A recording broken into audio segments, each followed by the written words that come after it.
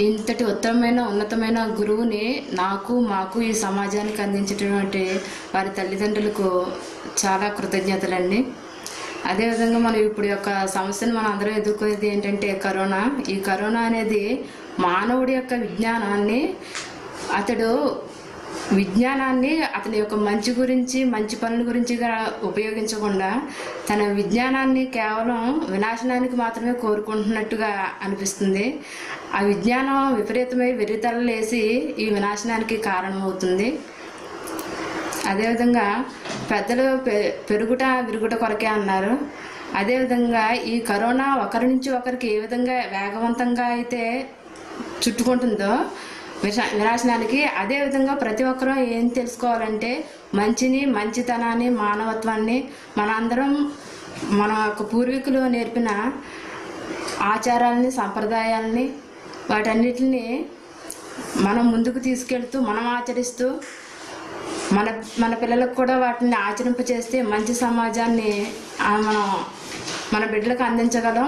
మనం కూడా మన యొక్క బాధ్యతని మనం నెరవేర్చుకుని ఈ విధంగా మంచికి మనం అందరం పురుగొల్పుకుని మంచిని ఆశించాలని కరోనా వల్ల చెడు ఉన్నప్పటికీ దాని నుంచి మనం మంచిని స్ఫూర్తిని తీసుకుని మంచి గుణగణాలు మనం అలా అలవాటు చేసుకుంటూ మన బిడ్డలకు కూడా భావితరాలకు మంచిని అందించే విధంగా మనం అందరం కృషి చేయాలని మనం ఈ యొక్క పరిపూర్ణానంద స్వామి గారి యొక్క పిలుపుతో మనం అందరం ముందుకు రావాలని చెప్పి నా నేను ఆశిస్తున్నాను.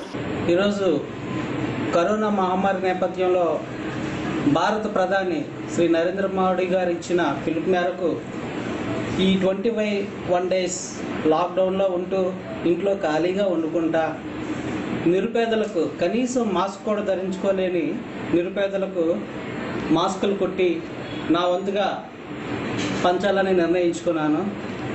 అలాగే మీరు కూడా మీ ఇంట్లో ఉండి ఖాళీగా వండుకుంటా సామాన్య ప్రజలకు ఉపయోగపడే ఏదైనా ఐటెం మీ వంతుగా ఇవ్వడానికి కృషి చేస్తారని ఆశిస్తున్నాను आप सबसे एक रिक्वेस्ट है ज्यादा छेछरी मत कीजिए चुपचाप घर में बैठ कर ज्यादा लबर लबर करके सामान मत कीनिए दुकान भागल नहीं जा रहा है घर में बुतरू और बड़वन के हाथ पैर बांध के बिठा दीजिए अच्छे से हाथ पैर धो के बिछावन पे नुक्कल रहिए बाकी टेंशन का कोनो बात नहीं है अकेले खानी रगड़िए अकेले खानी खाइए सबसे ज़रूरी बात अपने आप को बचाइए देश को बचाइए।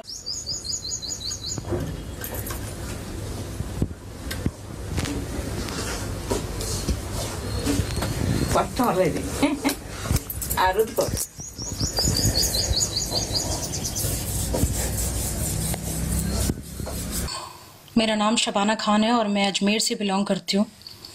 अल्लाह का लाख लाख शुक्र है कि मुझे उन्होंने अजमेर जैसी पाक ज़मीन पर पैदा किया। कभी ज़िंदगी में मैंने सोचा नहीं था कि इस तरह से वीडियो बना के और आप सभी लोगों से मैं इस तरह से बात करूँगी। समझ नहीं आ रहा है कौन से शब्दों में तुम्हें समझाया जाए, कौन से शब्दों में आप लोगों से बात की जाए। क्या लोग हो यार? कोई शर्म नहीं है क्या?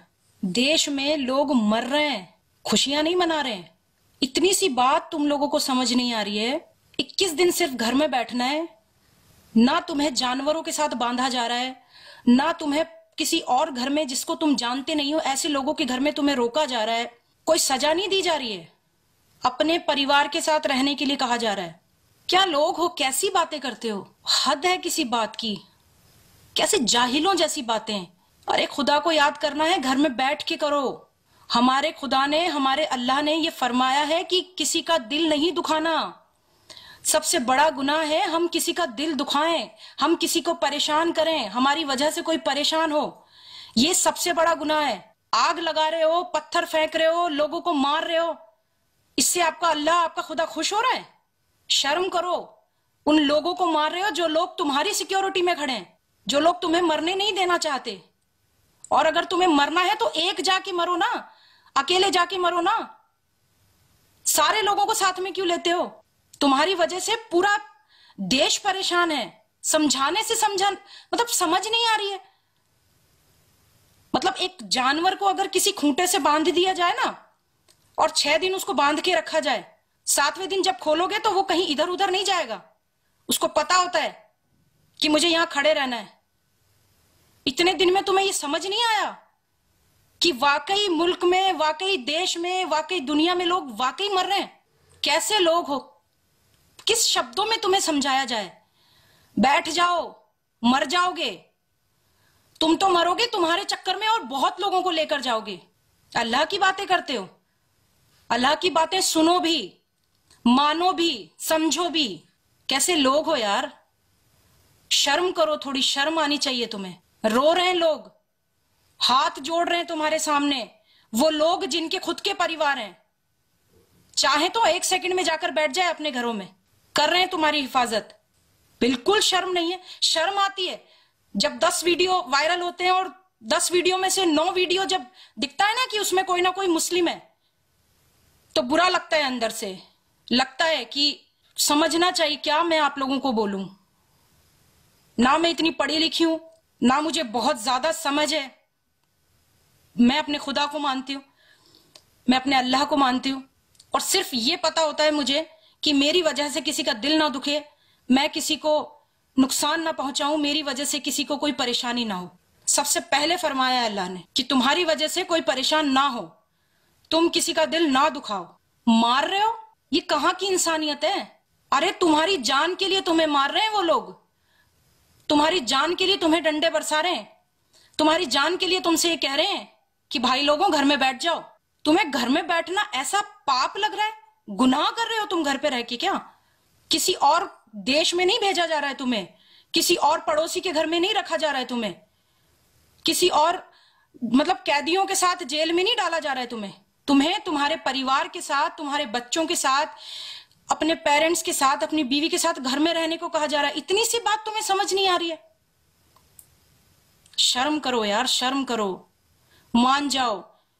अभी भी तौबा कर लो, घर में बैठ जाओ। मर जाओगे दुनिया खत्म हो जाएगी। कुछ नहीं मिलेगा किसी को। मेरी सभी से गुजारिश है प्लीज़ अपने घरों में बैठ जाओ। कुछ दिन की बात है। सलामत रहेंगे तो ज़िंदगी भर रहेंगे। आप और हम सब साथ रहेंगे। मत करो यार। एक ज, एक जान की बात हो ना तो आदमी कुछ भी कर ले इंसान कुछ भी कर ले। अरे तुम्हारे घर तुम्हारी वजह से तुम्हारा परिवार भी मरेगा। तुम्हारे परिवार की वजह से जो लोग उनके कांटेक्ट में आएँगे, वो लोग भी जाएँगे। मान जाओ भाई, बैठ जाओ घरों में यार। मत करो ऐसा। प्लीज़ मत करो। समझ जाओ।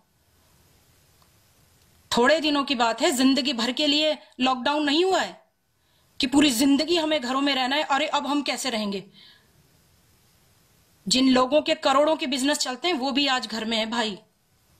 प्लीज़ बैठ जाओ यार। हाथ जोड़ के रिक्वेस्ट है।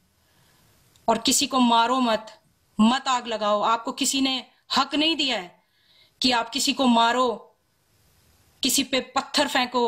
ये हक किसी ने नहीं दिया है आपको। समझ आ जाए तो शायद मेरी बातों में प्लीज़ प्लीज़ प्लीज़ घर में बैठ जाओ। प्लीज़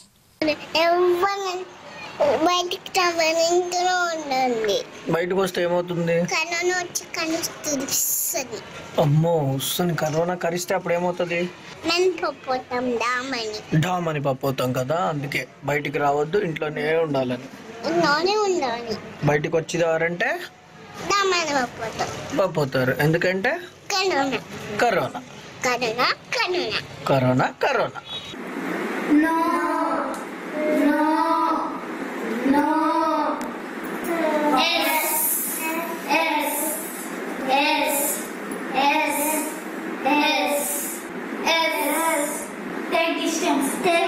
Take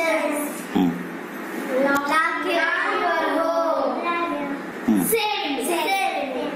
జై శ్రీరామ్ జై భారత్ ఈ యొక్క కరోనా వ్యాధిని మనం సంపూర్తిగా భారతదేశం నుంచి నివారించాలి అంటే ముఖ్యంగా పబ్లిక్ ప్లేసెస్ పబ్లిక్ ప్లేసెస్ అంటే సినిమా హాళ్ళు పెద్ద పెద్ద షాపింగ్ మాళ్ళు అలాగే మన భారతదేశంలో ఉన్నటువంటి టూరిజం సైట్స్ని వెంటనే బ్యాన్ చేయాలి. ఒక సంవత్సరం వరకు ఇవన్నీ బ్యాన్ చేయాలి. ఇతర దేశాల నుంచి వచ్చేటటువంటి విదేశీయులను కూడా రానివ్వకుండా బ్యాన్ చేయాలి.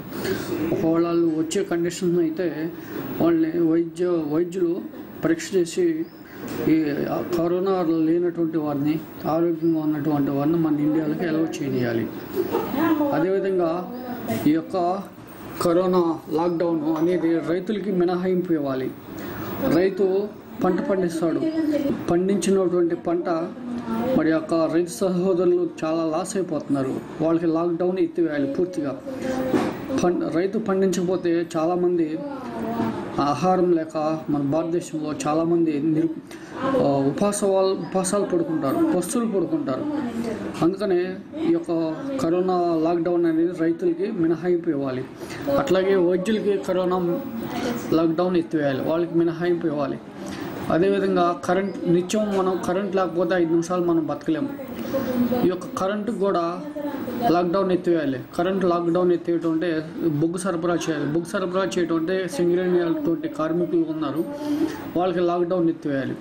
అట్లాగే థర్మల్ ప్రాజెక్ట్స్లో కరెంటు ప్రొడ్యూస్ అయ్యే థర్మల్ స్టేషన్స్లో పనిచేసేటటువంటి వారికి లాక్డౌన్ ఎత్తివేయాలి. వాళ్ళు నిరంతరము థర్మల్ స్టేషన్స్లో ఉండే పనిచేస్తూ ఉంటారు. కరెంటుని ప్రొడ్యూస్ చేస్తూ ఉంటారు. మెడికల్ ఫ్యాక్టరీలకి లాక్డౌన్ ఎత్తివేయాలి. మందు బిళ్ళలో ప్రొడక్షన్ లేకపోతే మందులు లేక పబ్లిక్ చనిపోతారు.